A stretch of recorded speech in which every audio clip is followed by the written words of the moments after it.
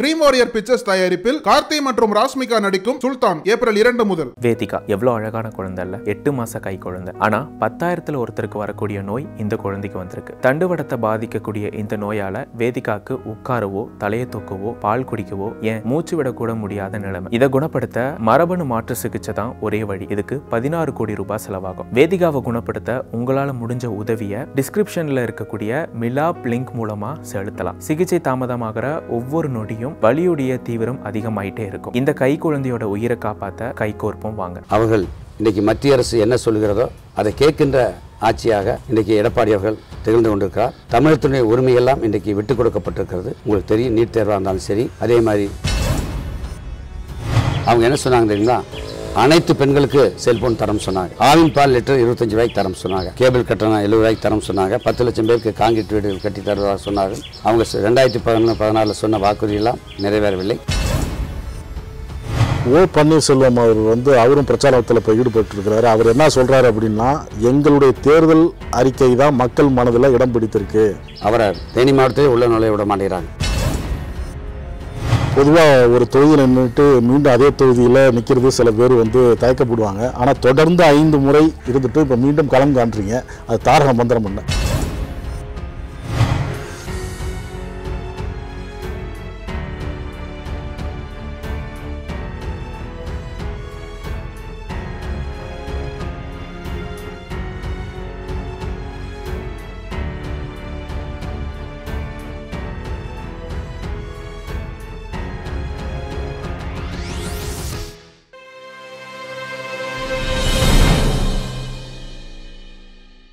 வணக்கம். அரசியல் சடுகுடு நிகழ்ச்சிக்கு உங்களை மீண்டும் வரவேற்கிறோம். இன்று நம்முடன் இணைந்திருக்கிறார் ஒட்டன்சத்திரம் சட்டமன்ற தொகுதி திமுக வேட்பாளர் ஈரா சக்கரபாணி அவர்கள். அவரை வரவேற்போம். வணக்கம் சார். வணக்கம். தொடர்ந்து ஐந்து முறை தக்க வச்சிருக்கீங்க. இப்போ மீண்டும் களம் காண்றீங்க. தொகுதி எப்படி இருக்கு? வாக்களை சந்திக்கிறீங்க. மக்கள் என்ன நினைக்கிறாங்க? திராவிட முன்னேற்ற கழகத்தின் தலைவர் மரியாதைக்குரிய அண்ணன் ஸ்டாலின் அவர்கள் இந்த தேர்தல் அறிக்கையிலே பல்வேறு வாக்குறுதிகளை அளித்திருக்கார். அது மக்கள் மனதிலே இடம்பெற்றிருக்கிறது. திராவிட முன்னேற்ற கழகத்தை பொறுத்தவரையிலே தலைவர் கலைஞர் அவர்கள் ரெண்டாயிரத்தி ஆறு ஆம் ஆண்டு தேர்தல் அறிக்கையிலே சொல்வதை செய்வோம் செய்வதைத்தான் சொல்வோம் என்று சொன்னார். சொன்ன வாக்குறுதியெல்லாம் நிறைவேற்றினார். சொல்லாத வாக்குறுதியும் நிறைவேற்றி ஒரு பொற்காலாட்சி நடத்தினார். அதை போலத்தான் த- இன்றைக்கு திராவிட முன்னேற்ற கழகத்தின் தலைவர் மரியாதைக்குரிய அண்ணன் மு க ஸ்டாலின் அவர்கள் அறிவித்திருக்கின்ற தேர்தல் வாக்குறுதியை மக்கள் நம்புகிறார்கள். எங்கு சென்றாலும் மக்கள் எழுச்சியை காண முடிகிறது. திராவிட முன்னேற்ற கழகத்தின் வேட்பாளராக போட்டியின்ற எனக்கு அமோக ஆதரவு இருக்கிறது. அதிகமான வாக்கு வித்தியாசத்திலே வெற்றி பெறுவேன். பொதுவாக ஒரு தொகுதியில் நின்றுட்டு மீண்டும் அதே தொகுதியில் நிற்கிறது சில பேர் வந்து தயக்கப்படுவாங்க. ஆனால் தொடர்ந்து ஐந்து முறை இருந்துட்டு இப்போ மீண்டும் களம் காண்றீங்க. அது தாரக மந்திரம் என்ன? தொண்ணூத்தாறு முதல் இதுவரை நான் ஒட்டந்தம் தொழிலில் ஐந்து முறை போட்டியிட்டிருக்கிறேன். தொடர்ந்து மக்களுடைய சேவையிலே என்றைக்குமே நான் ஈடுபட்டிருக்கிறேன். குறிப்பாக தொகுதி மக்களுடைய இன்ப துன்ப நிகழ்ச்சியில் கலந்து கொண்டு அவர் ஒவ்வொரு குடும்பத்திலும் ஒரு உறுப்பினராக நான் இன்று இருந்து கொண்டிருக்கிறேன். தொகுதிக்கு பல்வேறு வளர்ச்சிப் பணிகளை தலைவர் கலைஞர் அவர்கள் பத்தாண்டு காலம் தமிழ்நாட்டின் முதலமைச்சராக இருந்த நேரத்திலே தொகுதிக்கு பல்வேறு திட்டங்களை செய்திருக்கிறேன். மக்கள் என்னை பொறுத்தளவிலே அவன் ஒவ்வொரு ஒவ்வொருவரும் தங்கள் வீட்டு குடும்ப உறுப்பினராக கருதுகிறார்கள். ஆனால் தொடர்ந்து ஐந்து முறை வெற்றி பெற்றிருக்கிறேன். காவிரி குடிநீர் திட்டத்தை நீங்கள் தான் தொகுதி கொண்டாந்தீங்க. அந்த திட்டம் முழுமையாக எல்லா பகுதிகளுக்கும் மக்களுக்கும் சென்றடைஞ்சிருச்சா? இந்த தொகுதியில்? ரெண்டாயிரத்தி எட்டாம் ஆண்டு தலைவர் கலைஞருடைய ஆட்சி காலத்தில் மரியாதைக்குரிய அண்ணன் தளபதி அவர்கள் துணை முதலமைச்சராக இருந்தார். அதே மாதிரி உள்ளாட்சித்துறை அமைச்சராக இருந்தார். அவரிடத்திலே மரியாதைக்குரிய அண்ணன் வருவாய்த்துறை அமைச்சர் இருந்தான் அண்ணன் ஐ பெரியசாமி அவர்களும் நானும் எங்கள் பகுதிக்கு இந்த காவிரி கூட்டு குடிநீர் திட்டம் வேண்டும் என்று கோரிக்கை வைத்தும் அதை அவர் ரெண்டாயிரத்தி எட்டாம் ஆண்டு டெண்டர்லாம் இடப்பட்டு வேலை ஆரம்பிக்கப்பட்டது. ரெண்டாயிரத்தி பதினொன்றிலே அவருடைய ஆட்சி வந்தது. பத்தாண்டு காலமாக காவிரி தண்ணீர் முழுமையாக மக்கள் பயன்பாட்டுக்கு வரவில்லை. சட்டமன்றத்திலே மரியாதைக்குரிய அண்ணன் ஐ பெரியசாமி அவர்களும் நானும் பத்தாண்டுகளாக பலமுறை பேசி பார்த்தோம். அதே போன்று இங்கே ஒட்டணத்திலே பலமுறை ஆர்ப்பாட்டம் போராட்டம்லாம் நடத்தினோம். ஆனால் மக்கள் பயன்பாட்டுக்கு அவர்கள் கொண்டு வரவில்லை. பத்தாண்டு காலம் அவர்கள்தான் ஆட்சியில் இருந்தார்கள். இருந்தபோதிலும் இந்த காலகட்டத்திலே ஓரளவுக்கு அந்த குடிநீர் பிரச்சனை பகுதியிலே வந்திருக்கிறது. அதே போன்று தான் பாலார் பந்துலார் கூட்டுக்குடி திட்டம் திமுக ஆட்சியில் கொண்டு வந்தது. இரண்டு திட்டமுமே அதிமுக ஆட்சியிலே மக்கள் பயன்பாட்டுக்கு அவர்கள் கொண்டு வரவில்லை. கடந்த ரெண்டாயிரத்தி இருபது மார்ச் பதினாறாம் தேதி உள்ளாட்சித்துறை மானிய கோரிக்கையில் பேசுகின்ற வாய்ப்பு எனக்கு கிடைத்தது. அப்பொழுது நான் பேசுகின்ற சமயத்தில் முதல் பேச்சாக நான் பேரவைத் தலைவரத்தில் என் தொகுதி சம்பந்தமான இரண்டு கோரிக்கைகளை பேசுகிறேன் என்று சொல்லிவிட்டு முதல் கோரிக்கையாக என் தொகுதியிலே திமுக ஆட்சியில் கொண்டு வந்த காவிரி குடிநீர் திட்டமாக இருந்தாலும் சரி பாலாறு ஒன்றார் கூட்டு குடிநீர் திட்டமாக இருந்தாலும் சரி பத்தாண்டு காலமாக மக்கள் பயன்பாட்டுக்கு வரவில்லை. பலமுறை சட்டமன்றத்திலே நானும் ம மரியாதைக்குரிய ஐ. பெரியசாமி அவர்களும் பலமுறை பேசி பார்த்துவிட்டோம். ஆனால் இந்த ஆட்சியாளர்கள் அதற்கு செவிசாய்க்கவில்லை உள்ளாட்சித்துறை அமைச்சரை ஒரு முறையாவது திண்டுக்கல் மாவட்டத்துக்கு வந்து நீங்கள் ஆய்வு செய்யுங்கள் என்று கேட்டு பார்த்தும் இதை நீங்கள் செய்யவில்லை. எனவே என் தொகுதி மக்கள் ஒரு குடம் பத்து ரூபாய் பாஞ்சு ரூபாய்க்கு விலைக்கு வாங்குகின்ற அவல நிலைமை என் தொகுதியில் ஏற்பட்டிருக்கிறது. எனவே இந்த தொகுதி பொறுத்தளவிலே ஒரு புதிய கூட்டுக்குடி திட்டம் என் தொகுதிக்கு வேண்டும் என்று கோரிக்கை வைத்து வைத்தேன். மாலையிலே சட்டமன்ற கூட்டத்தொடர் முடிந்ததும் சம்பந்தப்பட்ட அதிகாரிலாம் வந்து என்னை சந்தித்தார்கள். சந்தித்து சார் எந்த திட்டம் வந்தால் உங்களுக்கு குடிநீர் பிரச்சனை தீரும் என்று கேட்டார்கள். நான் பொள்ளாச்சேரியிலே பரம்பிக்குளம் ஆலையிலிருந்து குடிநீர் கொண்டு வந்தால் என் தொகுதி மக்களுடைய குடிநீர் பிரச்சனை தீரும் என்று சொன்னேன். அரசு அதிகாரிகள் அதற்காக ஒரு முப்பது லட்சம் ரூபாய் ஆய்வுப் பணிக்காக நிதி ஒதுக்கி திட்ட மதிப்பீடு சுமார் ஐநூற்றி முப்பது கோடி ரூபாயிலே தயாரித்து அரசாங்கத்துக்கு அனுப்பியிருக்கார்கள். அதோடு திண்டுக்கல் மாவட்ட ஆட்சித்தலைவரும் ஒட்டந்தம் தொகுதி பொறுத்தளவில் ஆயிரத்தி ஐநூறு அடி போர்ப்பட்டால் தண்ணி கிடைப்பதில்லை. அதனால் வெளி மாவட்டத்திலிருந்து குடிநீர் நீர் கொண்டு வர வேண்டும் என்று அவரும் பரிந்துரை செய்திருக்கார் மரியாதைக்குரிய அண்ணன் மு. க. ஸ்டாலின் அவர்கள் தமிழ்நாட்டுடைய முதலமைச்சராக பொறுப்பேற்கின்ற சமயத்திலே அந்த திட்டத்துக்கு அனுமதி வாங்கி ஒட்டத்தம் தொகுதி இருக்கின்ற 77 ஊராட்சிகள் கேனூர் பேராட்சி ஒட்டத்தம் நகராட்சிக்கு முழுமையாக மக்களுக்கு குடிநீர் கொண்டு வருகின்ற பணியிலே ஈடுபட்டு அதை நிறைவேற்றி காட்டுவேன். இந்த பகுதி விவசாயிகள் வந்து கண்வழி கிழங்கு பயிரிடுறாங்க. அதை வந்து வெளிநாட்டுகளுக்கு ஏற்றுமதி செய்யணும் அப்படின்னு சொல்லி சட்டமன்றத்தில் குரல் கொடுத்தீங்க. அதை நடைமுறைப்படுத்தினாங்களா அவங்க? திண்டுக்கல் மாவட்டம் உட்பட தமிழ்நாட்டிலே ஒன்பது மாவட்டங்களிலே இந்த கண்வழி கிழங்கு விளைகிறது. சுமார் ஐயாயிரம் ஹெக்டேர் நிலங்களிலே. சில நேரங்களில் விவசாயிகளுக்கு கட்டுப்படியான விலை கிடைப்பதில்லை. இடைத்தரகர்கள் தலையிட்டு அதிலே அவர் லாபம் அடைகிறார்கள். அது சம்பந்தமாக சட்டமன்றத்திலே கடந்த கூட்டத்தொடரிலும் பேசினேன் முதலிலும் பேசினேன். பல நேரங்களில் வெட்டு தீர்மானம் கவனஈர்ப்பு தீர்மானமெல்லாம் கொண்டு வந்து பேசிய சமயத்திலே வேளாண்மைத்துறை அமைச்சர் நான் முதலமைச்சரோடு கலந்து பேசி முடிவு எடுக்கிறேன் என்று சொன்னார் ஒழிய நிறைவேற்றவில்லை. நாங்கள் கேட்டது எங்கள் அந்த விவசாயிகள் பயிரின்ற கண்வெளி கிழங்கு கட்டுப்படியான விலை சில நேரங்களில் கிடைப்பதில்லை. எனவே அரசாங்கமே கொள்முதல் செய்து அந்த வெளிநாட்டு நிறுவனங்களோடு ஒப்பந்தம் போட்டு விவசாயிகளுக்கு கட்டுப்படியான விலை கிடைக்க வேண்டும். இடைத்தரகர்கள் இல்லாமல் கிடைக்க வேண்டும். அதற்கு நீங்கள் அரசு ஏற்பாடு செய்ய வேண்டும் என்று பலமுறை வலியுறுத்தினேன். ஆனால் அவர்கள் செய்யவில்லை. ஆனால் தளபதி அவர்கள் இந்த தேர்தல் அறிக்கையிலே அதை இடம்பெற செய்திருக்கார் திமுக ஆட்சிக்கு வந்தவுடன் அந்த கண்ணுவெள்ளி கிழங்கு விதையை அரசே கொள்முதல் செய்து விவசாயிகளுக்கு கட்டுப்படியான விலை கிடைப்பதற்கும் இடைத்தரகர்கள் அதிலே தலையிடாமல் இருப்பதற்கும் நடவடிக்கை எடுப்பதாக தேர்தல் அறிக்கையிலே குறிப்பிட்டிருக்கிறார். இந்த தொகுதிக்கு அரசு கலைக்கல்லூரி வரணும்னு சில பேர் கோரிக்கை வச்சிருக்கிறாங்க. அதையும் சட்டமன்றத்தில் நீங்கள் பேசினதாக பதிவும் இருக்குது அது கிடப்பில் அரசு போட்டுருச்சா? நிலவரம் என்ன அது? ஒட்டந்தன் தொகுதியிலே அரசு கலைக்கல்லூரி இல்லை. பள்ளிக்குத்தான் செல்ல வேண்டும். நான் சட்டமன்றத்திலே பலமுறை பேசிவிட்டேன். உயர்கல்வித்துறை அமைச்சரிடத்திலும் சரி இந்து சமய அறநிலைத்துறை அமைச்சரும் சரி. ஏன்னா பழனி அருள்மிகு தண்டாயுதமன் திருக்கோயில் சம்பந்தமாக அந்த கோயில் கட்டுப்பாட்டில் தான் பெண்கள் கல்லூரி இருக்கும் ஆண்கள் கல்லூரியும் இருக்கிறது. அந்த நேரத்தில் சட்டமன்றத்தில் ரெண்டு பேர்த்திட்ட நான் பேசி பார்த்துட்டேன். எங்கள் தொகுதியில் இருக்கின்ற இருபதுக்கும் மேற்பட்ட அரசு மேல்நிலைப் பள்ளிகள் அர அதே போல் தனியார் மேல்நிலைப் பள்ளிகள்லாம் ஒரு மொத்தம் நாற்பது இருக்குது. அங்கே படிக்கின்ற மாணவர்கள் சுமார் எழுபது கிலோமீட்டர் எண்பது கிலோமீட்டருக்கு சென்று தான் பழனிக்கோ அல்லது திண்டுக்கலுக்கோ செல்ல வேண்டிய சூழ்நிலை. என் தொகுதியிலே கல்லூரி இல்லாத குறை இருக்கிறது அங்கே இருக்கின்ற ஆதிராவிட மாணவர்கள் பிற்படுத்தப்பட்ட மிக பிற்படுத்த மாணவர்கள் விவசாய குடும்பத்தைச் சேர்ந்த மாணவர்கள்லாம் மிகவும் சிரமப்படுகிறார்கள். எனவே அரசு கல்லூரி வேண்டும் என்று கோரிக்கை வைத்தேன். முதலமைச்சர் அதற்கு நடவடிக்கை எடுக்க வேண்டும் என்று முதலமைச்சரை பார்த்தே கேட்டேன். முதலமைச்சரும் அன்று சபையில் இருந்தார். உயர்கல்வித்துறை அமைச்சர் வந்தார். இந்து சமய அறநிலையத்துறை அமைச்சர் இருந்தார் ரெண்டு முறை நான் ரெண்டு மூணு முறை கேட்டு பார்த்தேன். ஆனால் அவர்கள் அதை பற்றி சிந்திக்கவே இல்லை பரிசீலிப்போம் என்று சொன்னார்கள். ஆனால் அதை பற்றி செய்யவில்லை. ஆனால் இன்றைக்கு தேர்தல் அறிக்கையிலே மரியாதைக்குரிய அண்ணன் தளபதி அவர்கள் திமுக ஆட்சி பொறுப்பேற்ற உடனே ஒட்டந்தரம் தொப்பம்பட்டி ஆகிய இரண்டு இடங்களிலும் இந்த ஆண்டு அரசு கலைக்கல்லூரி ஆரம்பிக்கப்படும் என்று தேர்தல் வா வாக்குறுதியாக அறிவித்திருக்கார் அதை கண்டிப்பாக நாங்கள் செயல்படுத்துவோம்.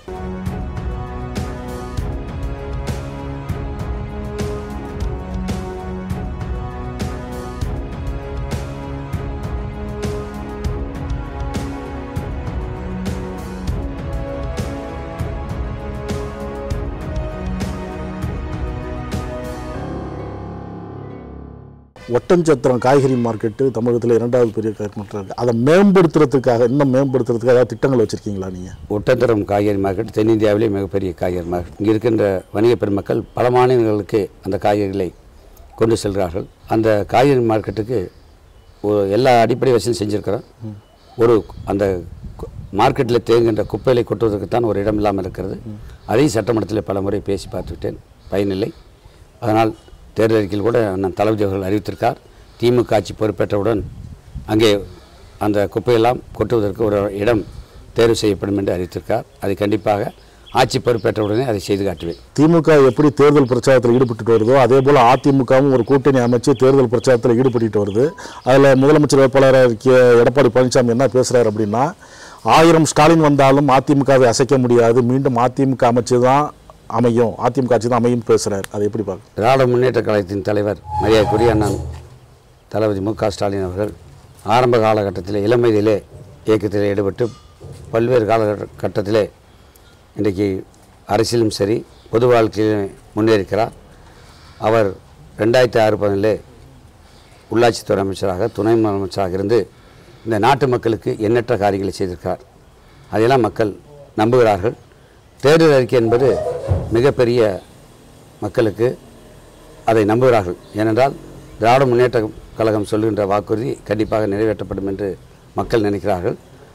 தளபதி பொறுத்தளவிலே இன்றைக்கு தலைவர் கலைஞர் ஒரு முறை சொன்னார் பத்திரிகையாளர் சந்திப்பிலே அவரிடத்தில் பிடித்தது என்ன என்று கேட்ட சமயத்தில் ஸ்டாலின் இடத்திலே பிடித்தது என அவருடைய உழைப்பு உழைப்பு உழைப்பு என்று சொன்னார். அந்த வகையிலே உழைப்புக்கு சொந்தக்காரர் நேர்மையான தூய்மையான ஆட்சியை நடத்துவார். அதில் மாற்று கருத்தில்லை திராவிட முன்னேற்ற கழகத்தை பொறுத்தவரை இந்த முறை அவர்கள் இன்றைக்கு மத்திய அரசு என்ன சொல்கிறதோ அதை கேட்கின்ற ஆட்சியாக இன்றைக்கு எடப்பாடி அவர்கள் திகழ்ந்து கொண்டிருக்கிறார். தமிழகத்தினுடைய உரிமையெல்லாம் இன்றைக்கு விட்டு கொடுக்கப்பட்டிருக்கிறது. உங்களுக்கு தெரியும் நீட் தேர்வாக இருந்தாலும் சரி அதே மாதிரி மாணவர்களுடைய இன்றைக்கு வெளி மாநிலத்தைச் சேர்ந்தவர்களும் தமிழ்நாட்டில் படிக்கலாம் என்று ஒரு நிலைமையை கொண்டு வந்திருக்கார்கள் அதேபோல் மத்திய அரசு கொண்டு வந்திருக்கின்ற மூன்று வேளாண் சட்டங்களை எதுக்கவில்லை குடியுரிமை சட்டத்தை எதுக்கவில்லை ஆனால் தல திராவிட முன்னேற்ற கழகத்தின் தளபதி அவர்கள் அவர் மத்திய அரசு என்ன மக்களுக்கு தமிழ்நாட்டு மக்களுக்கு என்ன பாதிக்கப்படக்கூடிய சட்டங்களை கொண்டு வந்தாலும் அதை எதிர்த்து குரல் கொடுக்கக்கூடிய ஒரே தலைவர் மரியாதைக்குரிய அண்ணன் மு க ஸ்டாலின் அவர்கள். அதனால் மக்கள் இன்றைக்கி தளபதி தான் தமிழ்நாட்டு முதலமைச்சராக வர வேண்டும் என்று நினைக்கிறார்கள். அதனால் முதலமைச்சர் சொல்வதெல்லாம் இந்த தேர்தலில் எடுபடாது. அவர்களுக்குள்ளேயே பல போட்டி இருக்குது. அவர்கள் வாக்குகள் நீ நீ தேர்தலில் பார்த்தா நிறைய இடத்துல போட்டி வேட்பாளர் நிறைய நிறைய நிற்கிறாங்க அதனால் கண்டி கண்டிப்பாக இந்த தேர்தலை பொறுத்தளவே மரியாதைக்குரிய மு க ஸ்டாலின் அவர்கள் அணிதான் மதசார்பற்ற முற்போக்கு கூட்டி தான் இரநூறுக்கும் மேற்பட்ட இடங்களிலே அவர் சொன்னார் மாவட்ட செயலாளர் என்னுடைய இலக்கு விசன் டூ ஹண்ட்ரட் சொன்னார். அவரே மறுபடியும் திருவாரூர் கூட்டத்திலே சொன்னார். நான் இங்கே வந்து பேசுகிற சமயத்தில் பார்த்தால் இரநூத்தி முப்பத்தி நாலு இடங்களும் திமுக வெற்றி பெறும் என்று சொல்லியிருக்கார். இந்த தேர்தலை பொறுத்தளவு மக்கள் திராவிட முன்னேற்ற கழகம் ஆட்சிக்கு வர வேண்டும் என்று விரும்புகிறார்கள். அது வருகின்ற தேர்தலில் நிச்சயமாக நடக்கும். இரநூத்தி முப்பத்தி நாலு தொகுதியிலும் மரியாதைக்குரிய அண்ணன் மு க ஸ்டாலின் அவர் தலைமையில் திமுக வெற்றி பெறும். தளபதி தான் தமிழ்நாட்டினுடைய முதலமைச்சர். அதில் மாற்று கருத்தில். ஓ பன்னீர்செல்வம் அவர் வந்து அவரும் பிரச்சாரத்தில் இப்போ ஈடுபட்டிருக்கிறாரு. அவர் என்ன சொல்கிறாரு அப்படின்னா எங்களுடைய தேர்தல் அறிக்கை தான் மக்கள் மனதில் இடம் பிடித்திருக்கு. வாஷிங் மிஷினு ஆறு சிலிண்டர்கள் ஆயிரத்தி ஐநூறுரூவா அந்த இல்லத்தரசிகளுக்கு. இது எல்லாமே மக்கள் மனசில் அது இல்லத்தரசிகளில் வந்து வாக்குகள் எங்களுக்கு தான் அப்படின்னு சொல்கிறாரு இன்னொன்று சொல்கிறாரு திமுக தேர்தல் அறிக்கை செல்லாத ஓட்டு கள்ள ஓட்டு அதிமுக தேர்தல் அறிக்கை தான் நல்ல ஓட்டு அப்படின்னு சொல்கிறார் நான் முதல்ல சொன்னேன் ரெண்டாயிரத்தி ஆறு பதினில் தலைவர் கலைஞர் அவர்கள் தேர்தல் அறிக்கையை த அறி அறிவிக்கின்ற நேரத்தில் முன்னாள் நிதியமைச்சர் மரியாதைக்குரிய பாசனமும் சொன்னார். இந்த தேர்தலே கதாநாயகன் தேர்தல் அறிக்கை என்று தான் சொன்னார். அதே போல் இந்த தேர்தல் அறிக்கை திராவிட முன்னேற்ற கழகம் சொல்வதை செய்யும். செய்தித்தான் சொல்லும். அதில் மாற்று கருத்தில்லை இதே தே ரெண்டாயிரத்தி பதினொன்று பதினாறில் அதிமுக தேர்தல் அறிக்கை வெளியிட்டுச்சு. அவங்க என்ன சொன்னாங்க தெரியுங்களா? ரெண்டாயிரத்தி பதினொன்று பதினாறில் அனைத்து பெண்களுக்கு செல்போன் தரம் சொன்னாங்க. ஆவின் பால் லிட்டர் இருபத்தஞ்சி ரூபாய்க்கு தரம் சொன்னாங்க. அறுபது வயதுக்கு மேற்பட்ட முதியோர்களுக்கெல்லாம் இலவச பஸ் தருவதாக சொன்னார்கள். அதேபோல் கேபிள் கட்டணம் எழுபது ரூபாய்க்கு தரம் சொன்னாங்க. பத்து லட்சம் பேருக்கு காங்கிரீட் வீடுகள் கட்டி தருவதாக சொன்னார்கள். அவங்க ரெண்டாயிரத்தி பதினொன்று பதினாலில் சொன்ன வாக்குறுதியெல்லாம் நிறைவேறவில்லை. ஆனால் திராவிட முன்னேற்ற கழகத்தை பொறுத்தவரை சொன்ன வாக்குறுதியும் செய்திருக்கிறோம் சொல்லாத வாக்குறுதியும் நிறைவேற்றிருக்கிறோம். எனவே அவர் சொல்வதைப் போல இல்லை. அவரை தேனி மாவட்டத்திலே உள்ள நுழைய விட மாட்டேங்கிறாங்க. உங்களுக்கு தெரியும் பார்த்துருப்பீங்க பத்திரிக்கையில். அதனால் திராவிட முன்னேற்ற கழகத்தின் தலைவர் மரியாதைக்குரிய அண்ணன் மு க ஸ்டாலின் செல்லுகின்ற இடங்களெல்லாம் மக்கள் வெள்ளம் இன்றைக்கு கடல் போல் காட்சியளிக்கிறது. இந்த தேர்தலை பொறுத்தவரை திமுக தான் இரநூத்தி முப்பத்தி நாலு இடங்களில் வெற்றி பெறும். அதில் மாற்று கருத்தில்லை. ரெண்டாயிரத்தி பதினாறில் அறுபத்தி ஏழாயிரம் வாக்கு வித்தியாசத்தில் தமிழகத்திலே நீங்கள் வெற்றி அதிக ரெண்டாவது இடத்துல பிடிச்சிங்க. இந்த தேர்தலில் ரெண்டாயிரத்தி இருபத்தொன்னில் அதை விட அதிகமாக எதிர்பார்க்கலாமா உங்கள்கிட்ட ரெண்டாயிரத்தி பதினாறு தேர்தலை பொறுத்தவரையிலே தலைவர் கலைஞர் அவர்கள் தமிழ்நாட்டிலே முதலிடத்திலே திருவாரூரிலே வெற்றி பெற்றார். அதிக வாக்கு அதிக வாக்கு வித்தியாசத்தில் வெற்றி பெற்றார். இரண்டாவது இடத்திலே நான் அந்த அறுபத்தையாயிரம் அறுபதாயிரத்து அறுபத்தையாயிரத்துக்கு மேற்பட்ட வாக்களை பெற்று இரண்டாம் இடத்திலே வெற்றி பெற்றேன். இந்த தேர்தலை பொறுத்தவரையிலே இப்போ காலையில் நான் பிரச்சாரத்துக்கு போயிட்டு வந்தேன். பதிமூணு நடந்தேன். காலையில் ஏழு மணிக்கு ஆரம்பித்து பன்னெண்டு மணிக்கு முடிய வேண்டிய பிரச்சாரம் நாலு மணிக்கு முடியுது. அப்படி பார்க்கின்ற நேரத்திலே மக்கள் எழுச்சி எங்கே பார்த்தாலும் நல்ல ஆதரவும் அவருடைய எழுச்சியும் காண முடிகிறது. இந்த தேர்தலை பொறுத்தவரையிலே கண்டிப்பாக அதை விட அதிகமான வாக்கு வித்தியாசத்தில் தான் வெற்றி பெறுகின்ற சூழ்நிலையில் உள்ளது. கண்டிப்பாக அதிகமான வாக்களை பெறுவேன். இந்த தேர்தலில் மூன்றாவது அணி நான்காவது அணிலாம் அமைஞ்சிருக்கு. அது வந்து திமுக வாக்கு வங்கியை பாதிக்குமா? கண்டிப்பாக பாதிக்காது. ஏனென்றால் திராவிட முன்னேற்ற கழகத்தை பொறுத்தளவிலே இன்றைக்கு மதசார்பற்ற முற்போக்கு கூட்டணி மிகப்பெரிய கூட்டணி. நடைபெற்ற நாடாளுமன்ற தேர்தலில் உங்களுக்கு தெரியும் ரெண்டாயிரத்தி பத்தொம்போதில் பாண்டிச்சேரி உட்பட நாற்பது நாடாளுமன்ற தொகுதியிலும் முப்பத்தொம்போது இடங்களிலே வெற்றி வாகி சூடியது அது குறிப்பாக திண்டுக்கல் மாவட்டத்திலே தமிழ்நாட்டிலே அதிகமான வாக்கு வித்தியாசத்திலே எங்களுடைய நாடாளுமன்ற உறுப்பினர் மரியாதைக்குரிய வேலுச்சாமி அவர்கள் வெற்றி பெற்றார். வருகிற சட்டமன்ற தேர்தலை பொறுத்தவரையிலே திராவிட முன்னேற்ற கழகம் இரநூத்தி முப்பத்தி நாலு இடங்களிலும் மதசார்பற்ற முற்போக்கு கூட்டணி வெற்றி பெறும். வெற்றி பெற்றம் என்பது மரியாதைக்குரிய மாண்புமிகு அண்ணன் மு க ஸ்டாலின் அவர்தான் தமிழ்நாட்டினுடைய முதலமைச்சர். அது காலத்தின் கட்டாயம். தளபதி தான் தமிழ்நாட்டினுடைய முதலமைச்சர் ஆக பொறுப்பேற்பார் என்பதை இந்த நேரத்தை தெரிவித்து அனைவருக்கும் நன்றி கூறி விடைபெறுகிறேன். நன்றி வணக்கம். நக்கீரன் டிவிக்கு சப்ஸ்கிரைப் செய்யுங்கள். உங்கள் ஆதரவே எங்கள் பலம் ஆசிரியர்களுக்கு நண்பனாகவும் மாணவர்களுக்கு ஆசானாகவும் திகழும் தேர்வு வழிகாட்டி. ஒவ்வொரு பாடத்திற்கும் அனுபவமிக்க ஆசிரியர்களின் துல்லியமான தெளிவான விடைகள். சிஎன்சி இருக்கு தேர்வு பயம் எதற்கு? இது தீரன் பப்ளிஷிங் ஹவுஸ் விற்பனை வெளியீடு.